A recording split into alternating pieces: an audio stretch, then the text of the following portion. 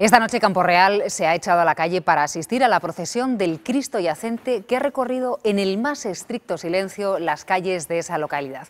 Por primera vez un grupo de veteranos de la Legión del Sáhara ha acompañado la procesión.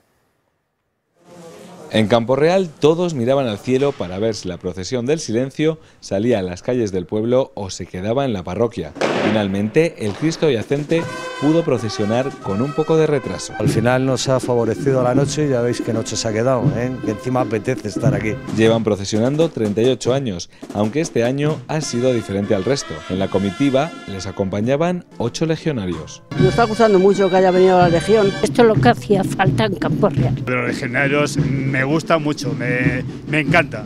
Son las 2 de la madrugada y una sensación térmica de menos 2 grados. Y fíjense la cantidad de gente que hay aquí en la Plaza Mayor de Campo Real para ver la procesión del silencio. Los 16 anderos de la cofradía volverían a dar otra vuelta para disfrute de los campeños. Un poquito más no nos importaría, sobre todo ahora que nos ha dejado el tiempo que estábamos convencidos de que no íbamos a salir.